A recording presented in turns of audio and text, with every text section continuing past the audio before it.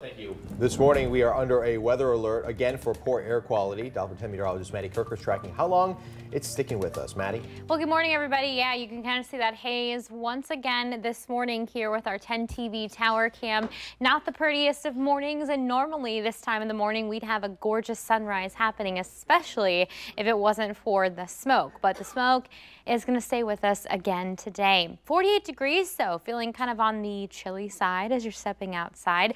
Uh, winds are calm this morning, so it is a nice and quiet start. I say that, but it is always the things that you can't see that can kind of get to you through the day, right? Sometimes it's the allergies and other times it's wildfire smoke.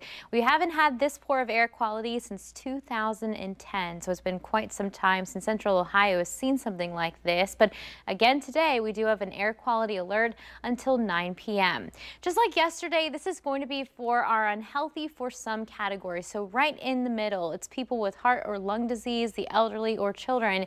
And that means you should just limit your time outdoors, especially during the peak heating of the day and when it's going to be the warmest. That's typically when the weather mixes itself together, allergies aren't looking good, and so we do have to deal with more of that uh, resistance in our uh, atmosphere. Now, Here's the science behind what's even happening. You know, we had a cold front move through yesterday. I was so excited because I was hopeful the cold front could help us out. But it's the upper level winds that are going to be steering us with the wildfire smoke to the north, well off to the north in Canada, that keep the wildfire smoky skies out there, not only for today, but it looks like it'll stick around for tomorrow. So as this area of low pressure begins to pull away from us, we'll finally see a more of a northwesterly breeze which should give us uh, some better air quality as we head towards the upcoming weekend. Taking a look at your allergy index, not looking good for our allergy sufferers. I know this has a lot to do with the air quality as well. We've got high tree pollen and high grass pollen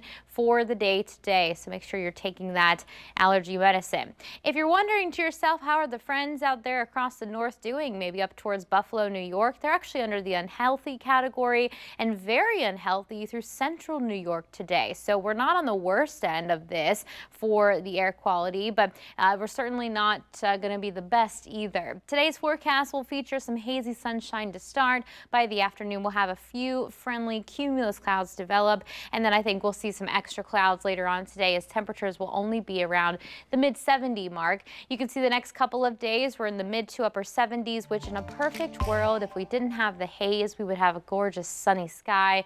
It would be beautiful, but but again, take that alert seriously, especially if you've got some breathing issues. Definitely wouldn't be outside during the afternoon today. Try to get out there early this morning to do your grocery shopping or go out later in the day. That'll be healthier for you.